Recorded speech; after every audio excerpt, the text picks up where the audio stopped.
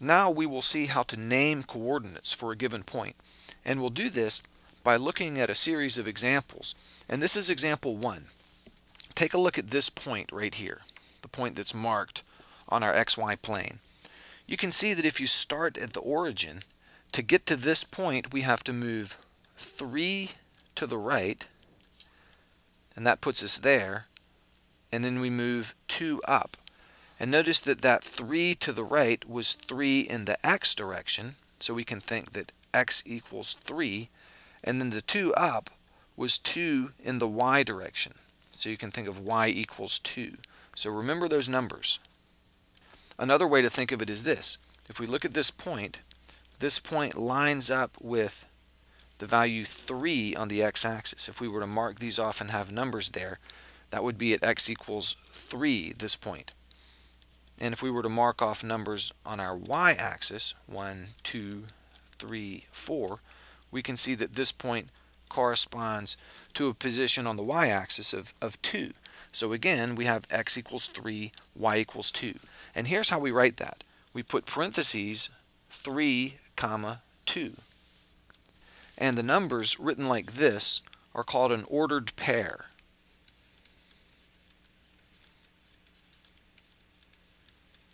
Because it's understood that the order there is known to be x first and y second. So you could write this, x equals 3, y equals 2. This is just a more compact notation, a more compact way to write the same thing. So this point is the point 3, 2. And when we say it like that, 3, comma 2, it's, understand, it's understood that the order there is x first and then y. So 3, 2 means x equals 3, y equals 2. All right, here's example 2.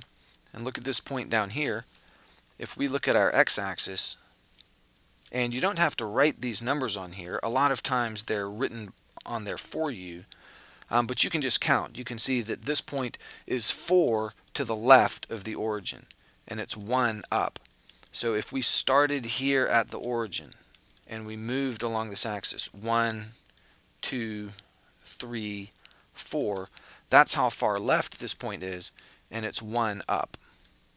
Remember, we said that this is our x-axis, this horizontal line, and we also said that this was the positive x direction, and to the left is the negative x direction. So our x coordinate here is negative 4 because it's to the left, and the y coordinate is positive 1. Positive y is up and negative y is down, and we're up above the origin.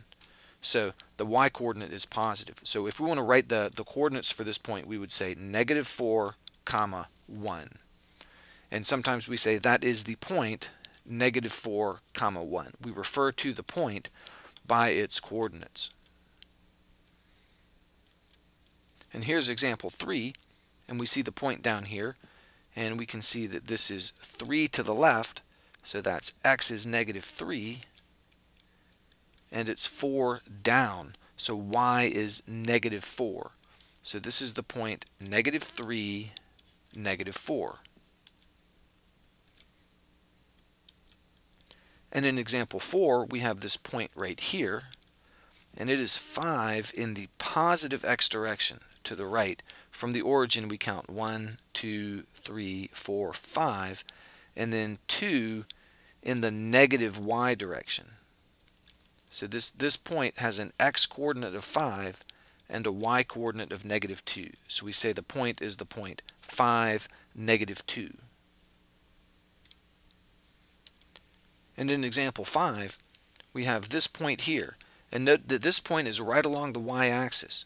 So the x-coordinate, it isn't 1 and it isn't negative 1. It's lined up right there with x equals 0. In other words, from the origin right here, we don't move left or right at all to get to this point. We only move up. We go up 1, 2, 3. So we go 0 horizontally, 0 left and right. So the x coordinate is 0. And we go up 3 to get to this point. So the y coordinate is 3. So we would say this is the point 0, 3.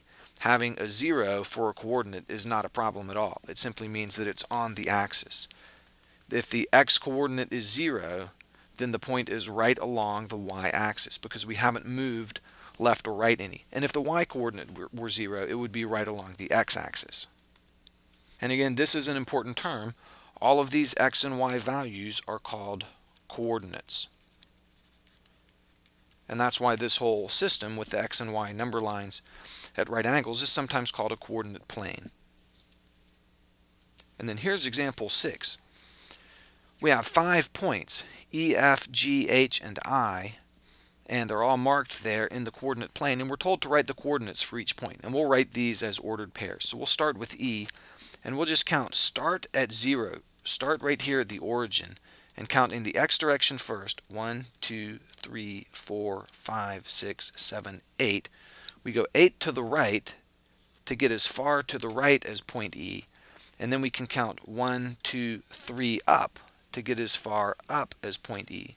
So point E has an x coordinate of 8 and a y coordinate of 3. So we'll write 8 comma 3 for point E.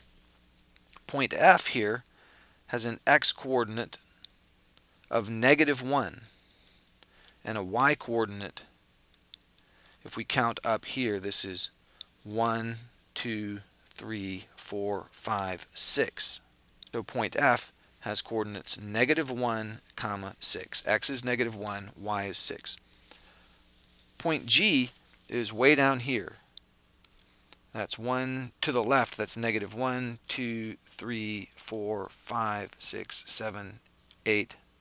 Actually, I think I miscounted that. Let's start here at 0 and go to the left.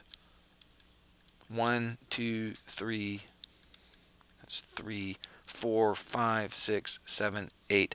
9 to the left gets me lined up with G. And vertically, we count 1, 2, 3, 4, 5, 6, 7, 8. 9 down. So that's 9 in the negative x direction and 9 in the negative y direction. So that's the point negative 9 comma negative 9. Now point H here, this one's pretty easy. It's 2 to the right of the origin, so my x value is 2. And coming down here, we can count 1, 2, 3, 4, 5 in the negative y direction. So the y coordinate is negative 5. And then point, uh, point I. Point I is right here. And from the origin, we can move 1, 2, 3, 4, 4 to the left.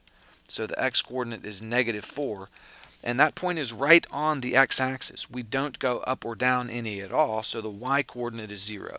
So that's point negative 4, 0.